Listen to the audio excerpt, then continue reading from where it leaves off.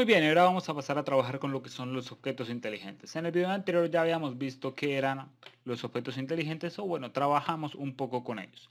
Ahora vamos a ver en qué consisten. Bueno, los objetos inteligentes o las capas inteligentes son las que conservan la información y nos permiten generar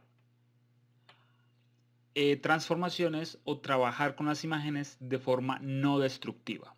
Y eso es bastante importante tener en cuenta este concepto porque muchas de las veces en las que trabajamos en Photoshop, por ejemplo, cuando tratamos de editar una imagen con modos y con ajustes, por ejemplo, desde aquí todas estas son formas, si las trabajamos directamente sobre una capa que no es inteligente, empezamos a trabajar de forma destructiva, ¿qué quiere decir? Que vamos a ir eliminando información que existía originalmente.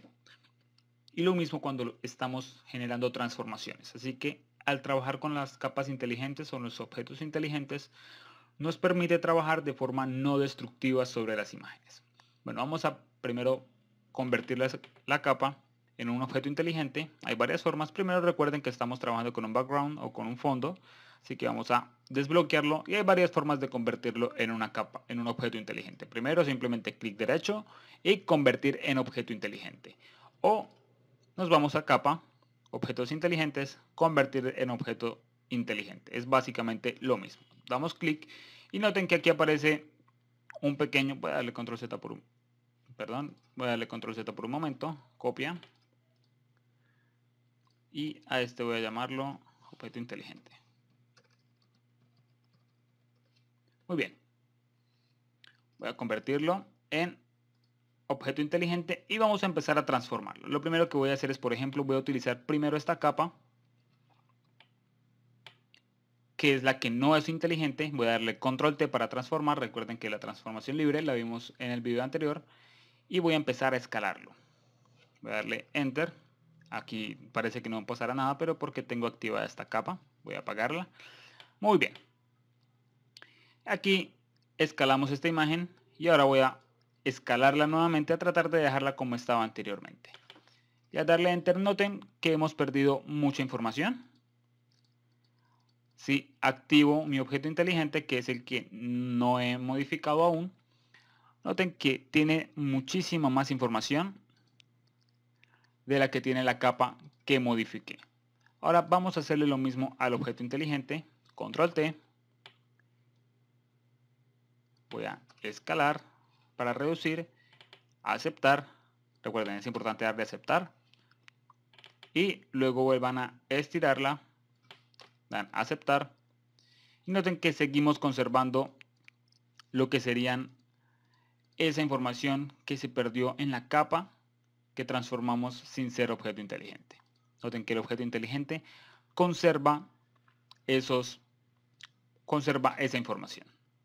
Vamos a seguir transformando, por ejemplo, a este le voy, a volverlo a copiar para tener este original.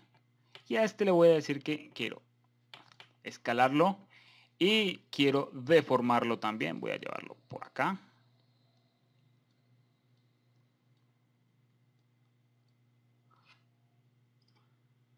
Y transformación libre, voy a moverlo un poco. Muy bien. Enter. Y ahí tenemos este. Voy a hacerle exactamente lo mismo a este. bueno, no creo que sea capaz de hacerle exactamente lo mismo. Pero voy a hacerle algo similar. Escalo. Deformar. Voy a llevar esto por acá. De esta forma. Y voy a subir esto acá. Y aceptar. Muy bien, con el primero voy a darle nuevamente control T al que no es un objeto inteligente y voy a decirle nuevamente deformar. En donde dice a medida, en esta parte, voy a darle ninguno y noten lo que pasó, no pasó absolutamente nada.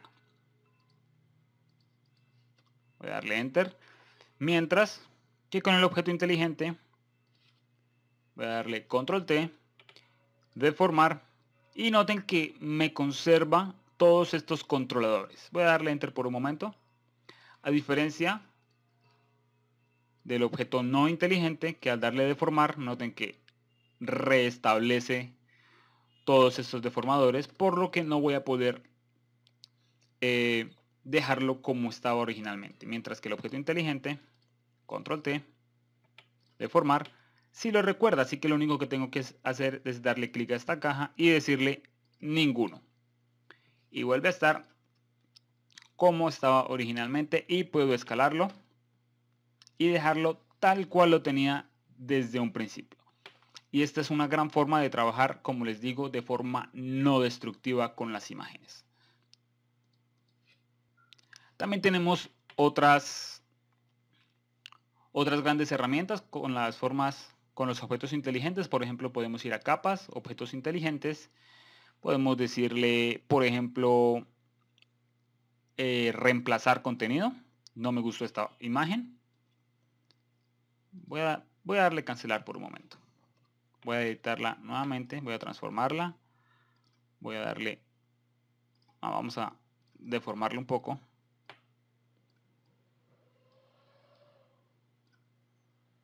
Vamos a dejarla de esta forma. Noten que la, noten la transformación que acabé de realizar. Y ahora voy a decirle reemplazar contenido. Y voy a tomar esta imagen número 2. Y ahora Photoshop me va a recordar exactamente lo mismo que le había hecho a la imagen anterior. Y va a reemplazarla con la misma transformación. Ahora, bueno, esto porque quedó así, porque la imagen simplemente es mucho más grande que la, la que estaba usando anteriormente. Pero si tuviéramos dos imágenes de la misma resolución, hubieran quedado exactamente iguales. Pero se alcanza a ver que Photoshop recuerda exactamente lo que le habíamos hecho a la primera imagen y lo hace en la segunda. Bien, voy a eliminar esa capa. Voy a trabajar con esta voy a convertirla también en un objeto inteligente. Muy bien, también puedo editar eso, por ejemplo, vamos a decirle control T. Vamos a seguir trabajando con deformar. Creo que este proceso ya lo había hecho. Vamos a hacerlo con otro. Vamos a trabajarlo con, con estrechar. No veo, aquí está.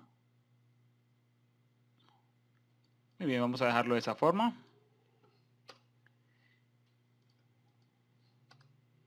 y voy a darle enter y luego podemos darle no sé si dándole doble clic acá no, no funciona. Puedo decirle en la capa objetos inteligentes que quiero editar el contenido o puedo darle doble clic acá. Me abre este contenido y bueno no sé no, no voy a entrar en muchos detalles tampoco para no tener que usar muchas herramientas que aún no hemos visto. Puedo empezar a pintar lo que yo quiera. Voy a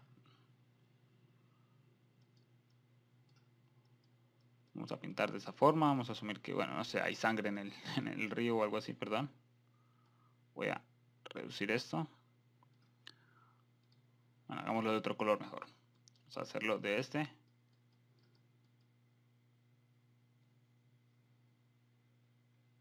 Ahora, esta no es la herramienta más recomendada para, para pintar esas cosas.